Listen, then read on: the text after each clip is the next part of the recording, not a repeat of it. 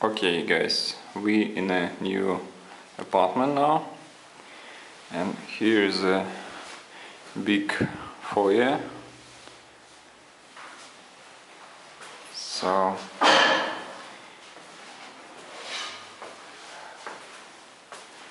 here's another big foyer and a big foyer. So here is the construction of uh, bathroom.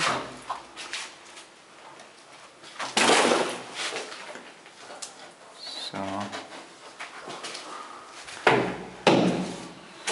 here is a big big room.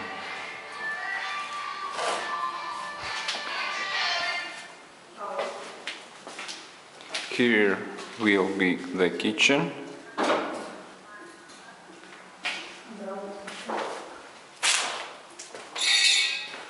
And we have two rooms. One rooms and